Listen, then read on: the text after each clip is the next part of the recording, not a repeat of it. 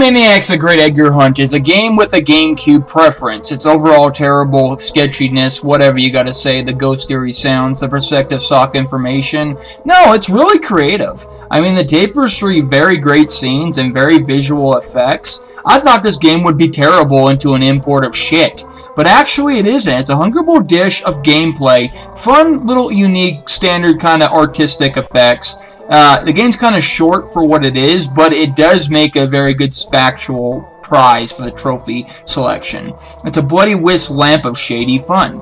Um, I'm going to give this game a higher rating, a 9.6 slash 10. Thanks, and it's really a good game. Check it out. Even though if you don't like Animaniacs the show, or you don't like cartoon characters, very creative game, and I was very impressed by it.